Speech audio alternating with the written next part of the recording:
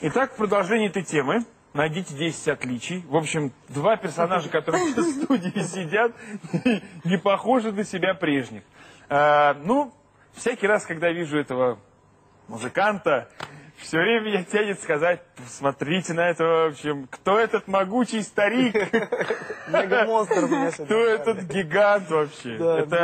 Это Андрей Губин. Ради написания песен для Беретты Губин забросил карьеру певца. Как утверждает Юля, с Андреем Губиным их связывает дружба. Юля Беретта – бывшая участница группы «Стрелки». Единственная из девушек, решившая после распада проекта заняться сольной карьерой. Друзья мои, но если вы мысленно также можете снять э, с нее черный парик и надеть белый, то вы наверняка э, узнаете левого полузащитницу. Парик, да, подергай. Это не парик, это мои волосы. Левую полузащитницу Девушка должна меняться. Ну, ты сейчас изменилась, Ну прям буквально да. это самое. В общем, Почему-то девушка, когда говорит о том, что она должна меняться, не чтобы там что-нибудь здесь изменить, да, в голове. Надо вот изменить только то, что на голове. Вот девушка изменилась, если там она по-другому Я покажется. изменилась Значит, внутри, изменилась поэтому изменилась и здесь. ну, Да? судя Ну, вообще она... Ну, Юля, внутри правда, кстати, изменилась, я считаю. Да? А вы вместе-то что делаете? Вы, простите, у вас... У нас работа. И все?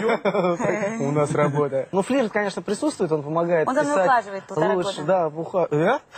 Ты сказал. Ну, наверное, да. Ну, по-своему ухаживаю, да, кстати. А Ну. Я песнями ухаживаю. Раньше я ухаживал бриллиантами за девушками, а теперь я нашел более короткий путь. Сердцу. э, я теперь ухаживаю так, песнями, знаешь. Кстати, Ты почему очень ухаживаешь, удобно, Саш. ухаживаешь давно? Сначала ты ухаживал такими песнями, значит, за Орловой, поухаживал песнями. Ну, за Орловой, ну да, было. Потом а, была, по-моему, девочка из группы «Карамельки», за Плюс, Андрей. Губин поухаживал своими песнями. Потом а, за Жанной Фриски поухаживал своими Чуть-чуть, песнями. да. Потом теперь вот это из «Стрелок», значит, Юля. С, э, Юля Беретта из Юля «Стрелок». Берет. Дай-ка я запишу. Ну, просто Юля Берет. Запомни. сама по себе, да. Мне уже не стрелы, конечно. Уже на взрослый человечек. Юля, такой. ты можешь сделать что-нибудь с своим декольте? Ты мешаешь нам это Скажи, не, не настроить. просто, да? А ты представляешь, на студии Ну, как работает? А Правда, я на так? все время одеваюсь в кепку и в майку. Ну, правда, да, у тебя лучше всего получается писать как-то э, э, для кого-то, если то только для девушек. И так понимаете? Да, да. Если для мальчика, то только для себя, И а для если для Саши Пряникова тоже готов написать. Сань, ну все, я понял. Друзья мои, мне осталось да, только завести себе декольте. ты пел. Вот, покрасить Ты пел хорошо, вспомни. Что? Ну, с группы «Стрелки» как ты. Тогда с группой стрелки. С группой стрелки кто-то не пытался спеть. Но видишь, лучше всего пока получается Андрей Лучше всего у тебя получилось с нами спеть. Да, да, я с ним не пел. Ну, Теперь уж нет группы стрелки. Ну все, группы осталась память. Почему Ю-Ю? Там еще, кажется, была Лиса. Я ушла давно из «Стрелок», и я стала А что, а разве есть группа стрелки? Ну, они существуют, как бы, наверное, там. Ну да, кстати, они сейчас духом Ну, уже снова. другие абсолютно. Да, там уже три состава новых уже. Ну вот, вот, вот. Так, Ну, э, я никакой Ну, я, отношения кстати, считаю Юлю, я Юлю считаю самой перспективной. в- а в чем ее перспектива? А, Опишите ее внешние, так сказать, параметры. считаю... Минуточку, дайте вставлю свое слово. Ты кто? А, нас... А ты хотел, А ты, Пряников и Губин беседуют, ты хотел еще слова какие-то говорить? что? Это Америка с Россией разговаривает. А тут какой-то там, понимаешь, Ну, давай, северный- говорить тоже можно? Ну, говори, говори. Ну, говорила. я хочу сказать, что стрелы тоже набирали, между прочим, по телевизору и отобрали нас не самых плохих, скажем так. Мы были лучшей группой, мы собрали олимпийские в то, в то время. Да, олимпийский солдат они забрали. Не важно, собрали 13 тысяч человек. Не, надо 13 говорить. тысяч. 13 13 тысяч 666 человек пришло солдат к вам. Я думаю, что А если в армии служили женщины, то на концерты Губина тоже до сих пор были бы аншлаги. Ну. После, стрелок я ушла в свободное плавание, стала пытаться сама сольно петь, у меня не получилось. Я обратилась к Андрею, чтобы он мне помог, понимаешь? Вот-вот-вот. И вот он мне помог. Аэропорты, куда летят самолеты, вдаль бегут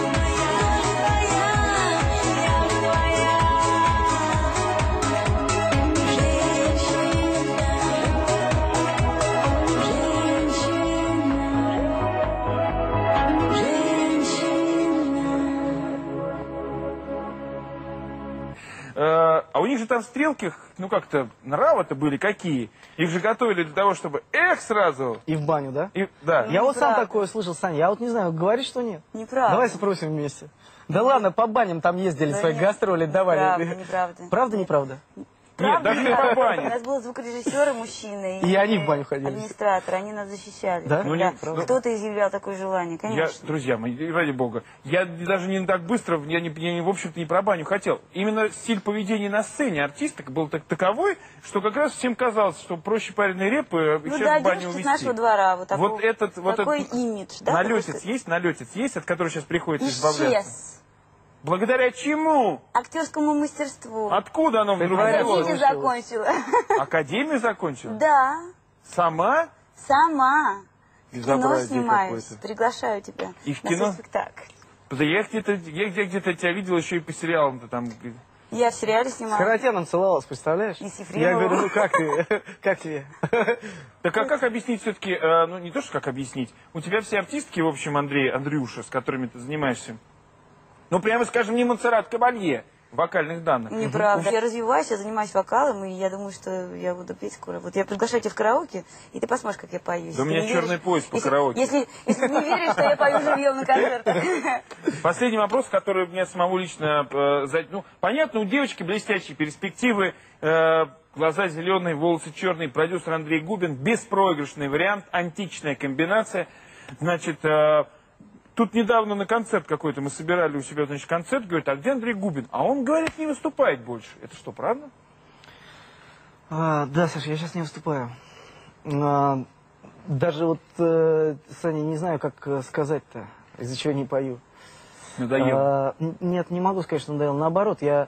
То есть мне звонят девчонки, там говорят, Андрей, а вы что там не поете? Все. А я говорю, да я пою даже чаще сейчас, чем раньше пел. Ну, только я пою больше на студии, а, в каких-то домашних условиях, когда сочиняю. То есть музыкой я сейчас гораздо больше занимаюсь, чем раньше. Типа не работаешь, вот это вот, перестал ну да, но я как-то глубже ощутил музыку. И мне стало интереснее, глубже в нее проникать. И настолько интереснее, что я как бы вот именно, чтобы выйти сейчас за А2, вот я ваш, типа, мне сейчас, я сейчас в другом чуть-чуть. Тоже интересно, но тогда, когда я сделаю та- для Андрея Губина, так как я это вижу, с Юлей работать в этом смысле легче, потому что она там и бегает, и спортом занимается. А я целыми днем сижу, играю на фортепиано. Мне сейчас не до этого.